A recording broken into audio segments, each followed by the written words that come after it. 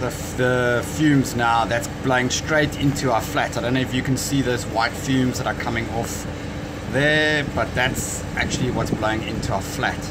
And it's very toxic. Whatever they got in there coming out of this chimney is making us actually cough. It smells like they put chemicals onto the burners. Oh, that